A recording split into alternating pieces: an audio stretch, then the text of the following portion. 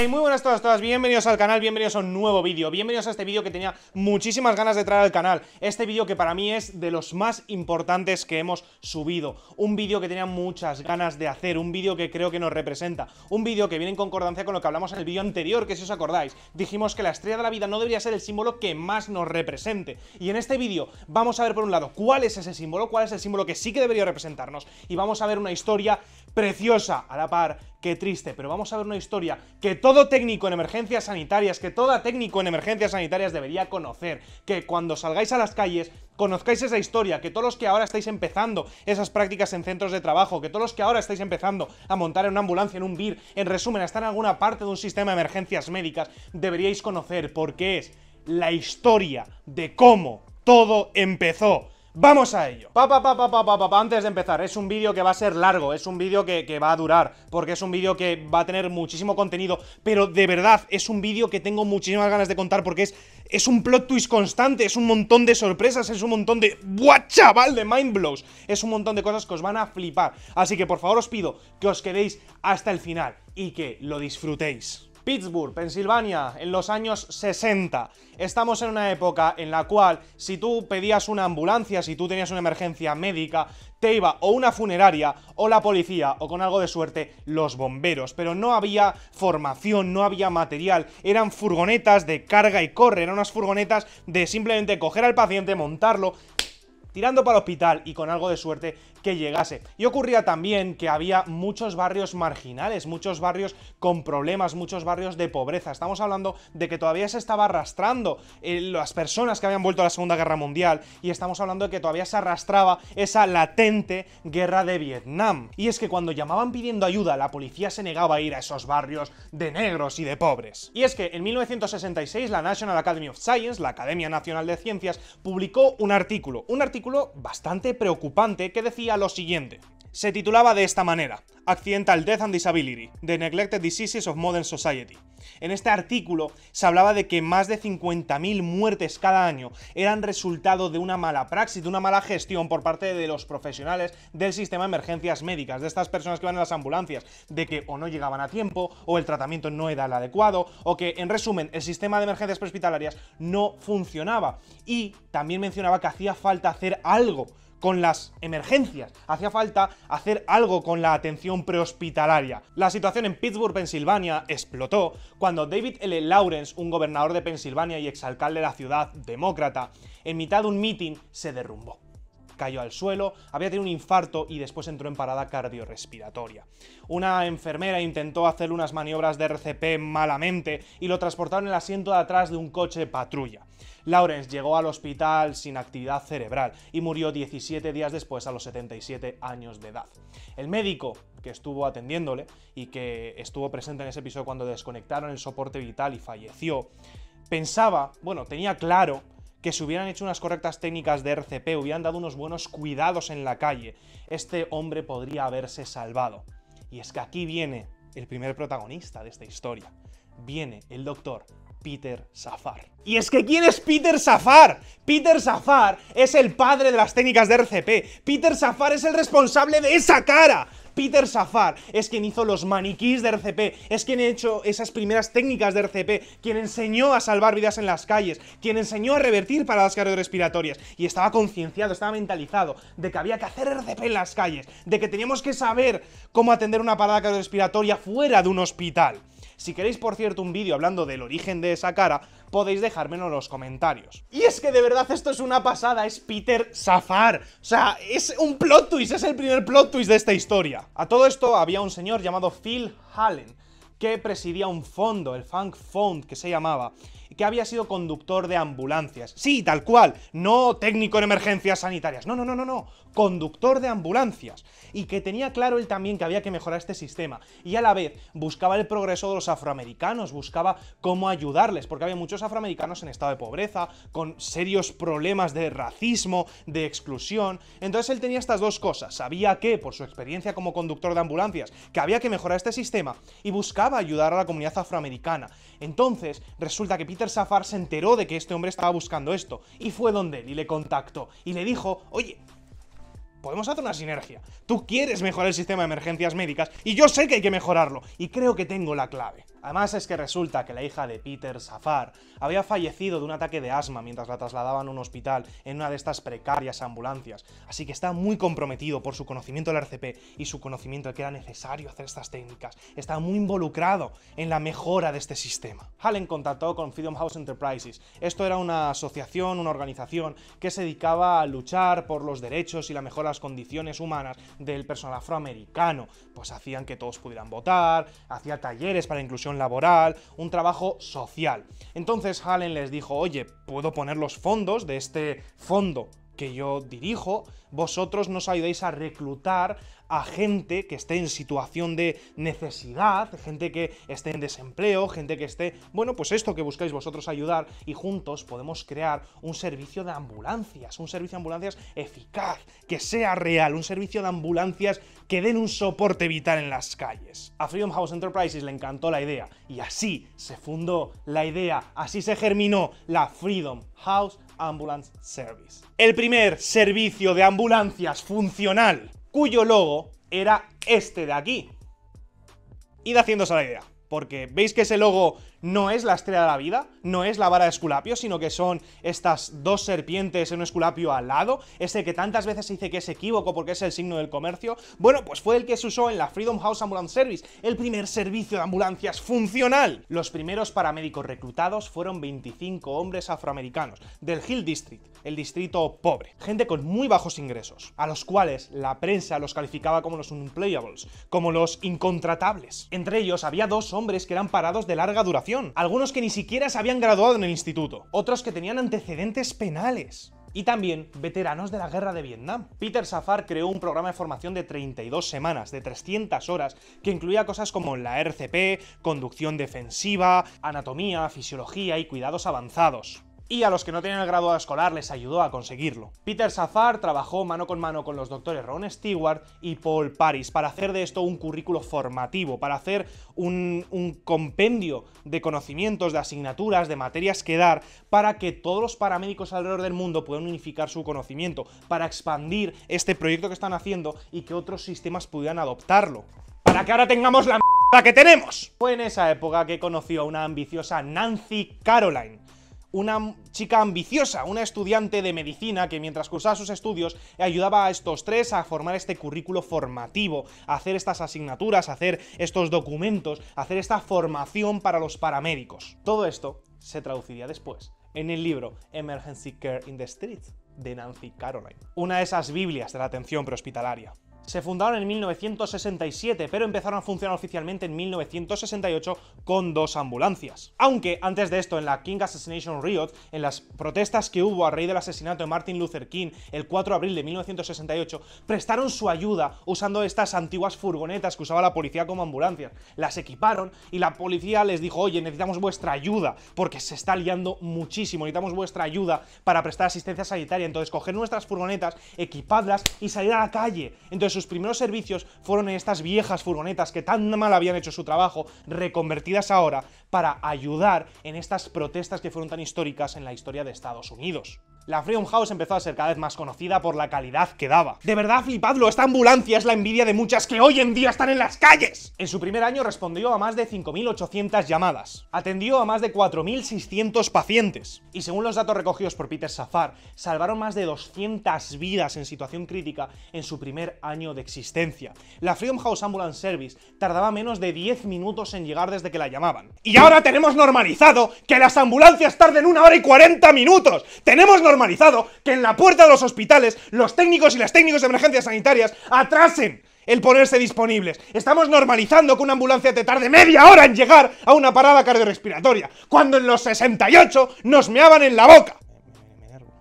En 1974, Nancy Caroline pasaría a ser la directora médica de la Freedom House Ambulance Service y añadiría conocimientos y formación tales como la intubación, la administración de medicamentos intravenosos o la atención a la patología cardíaca de urgencia. Todo este currículo formativo sería adoptado por el gobierno, sería adoptado por entidades gubernamentales.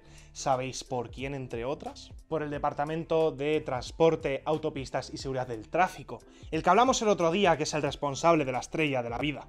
Segundo plot twist, segundo miembro, segunda sorpresa. Cómo la esta historia, cómo todo está relacionado, es que es una pasada. Y aquí vamos a hacer una pausa, vamos a tranquilizarnos porque os voy a dar un bombazo. Y es que por lo que la Freedom House Ambulance Service sería tan amada por la sociedad, uno de esos factores fue esto que escribió un documentalista. Lo vais a tener en pantalla en inglés y os lo leo en castellano para los que no habléis el idioma de Shakespeare. La Freedom House, sus paramédicos, tienen compasión por la comunidad.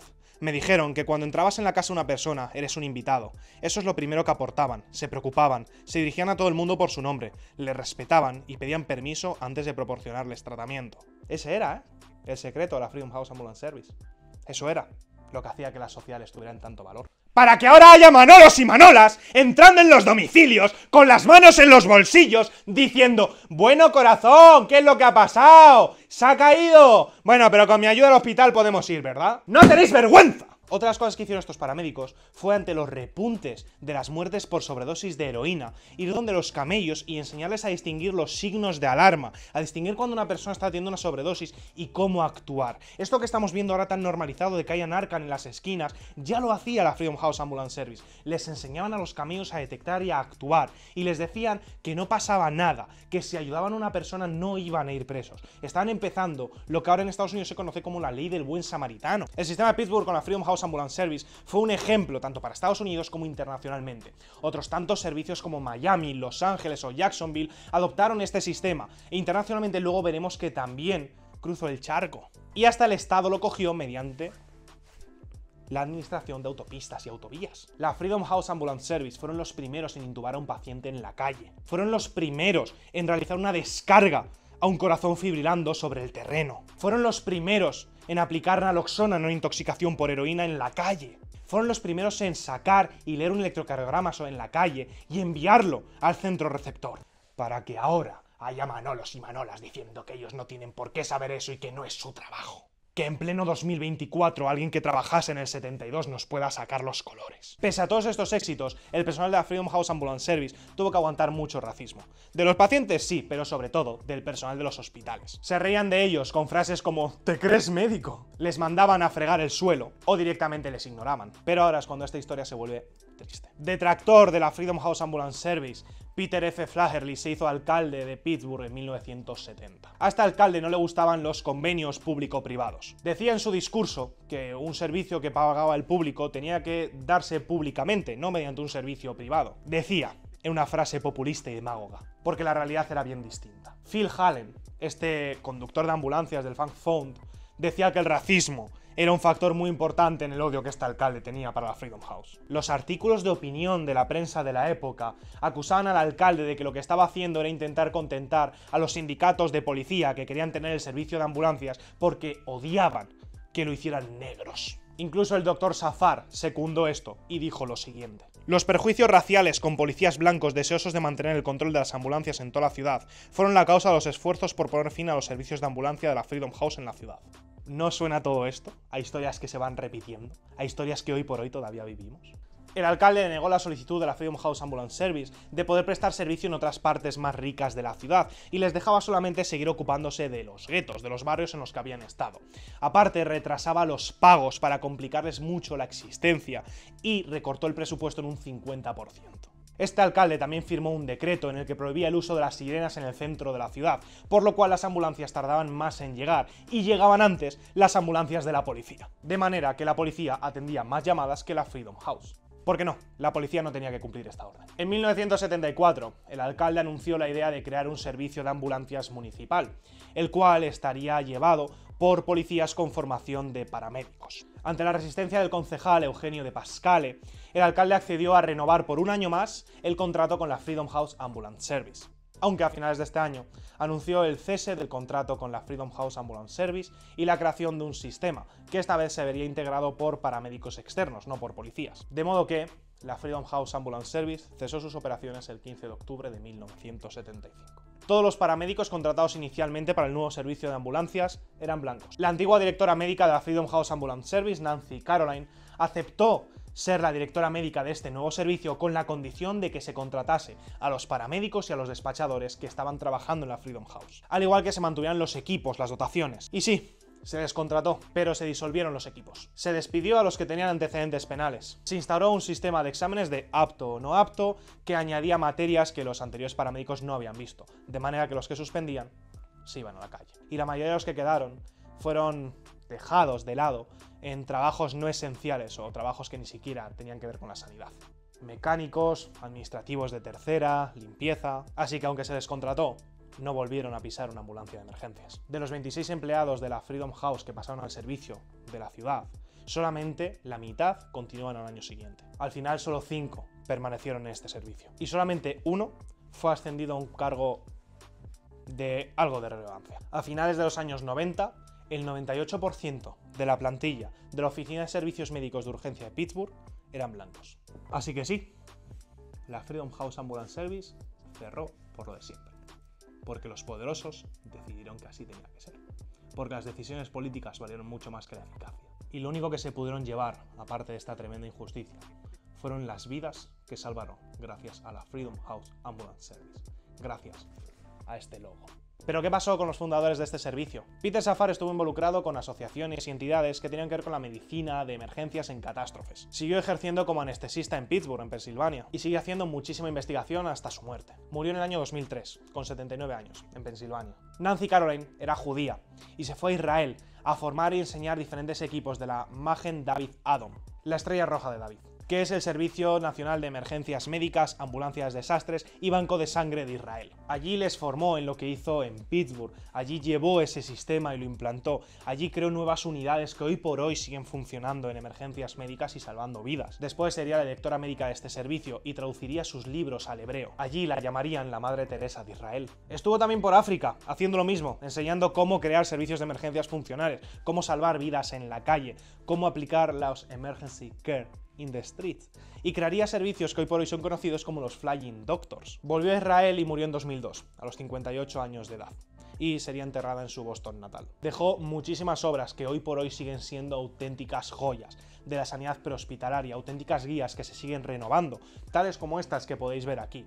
Y lo curioso es que la mayoría de estas guías que se siguen actualizando, que siguen sacando ediciones todos los años, ella sigue siendo la autora. De hecho, en la primera página del Emergency Care in the Street, pone que es en honor a Nancy Caroline, en una foto en la que está montada en una de estas ambulancias de la Freedom House, y la cual es considerada la madre de todos los paramédicos. Así que ya veis por qué en el vídeo anterior decía que tal vez la estrella de la vida no es el signo que más nos tenga que representar. Tal vez el logo de la Freedom House Ambulance Service deba ser el logo que más nos represente, porque es lo que hizo que estemos aquí hoy, es a lo que nos debemos, es lo que nos creó, y todos sus protagonistas, todas las personas que formaban parte de esta historia, son los padres y madres de este servicio. Gracias a ellos y a ellas, aquí y ahora, iluminamos con luz de esperanza las sombras de enfermedad y caos. Para ellos y para ellas muchas gracias. Para ellos y para ellas, nuestro estado hoy es en guardia. Así que ahora, cuando os montéis en vuestra ambulancia, espero que os recordéis quiénes iniciaron este camino, quiénes tuvieron que vivir una mierda, vosotros y vosotras, que os quejáis de cobrar mil pavos, vosotros y vosotras, que os quejáis de categorías profesionales, que os quejáis de estar como conductores o camilleros, recordad quienes dieron todo quienes salieron de la miseria, quienes volvieron de una guerra, quienes salieron de la droga, quienes eran pobres, quienes eran parados de larga duración y se montaron una puta ambulancia, porque si no lo hacían ellos nadie lo haría, para ser la última esperanza de quien había perdido la esperanza, quienes iniciaron un camino que te cagas, quienes pelearon contra todo y contra todos, quienes formaron la Freedom House Ambulance Service, quienes formaron ese primer servicio de ambulancias a la cual hoy le debéis todo gracias a ellos y a las hostias que les dieron después y a ese final que tuvieron, os merecéis ahora. Así que poneos el chaleco, poneos el puto phone y salir a la calle. No lo hagáis por la empresa, no lo hagáis por el sistema. Hacedlo por vosotros, por ellos y por el paciente. ¡A la puta calle a estar de guardia! Tenéis algunos vídeos y algunos documentales muy chulos sobre esto. Tenéis mucha bibliografía y artículos al respecto.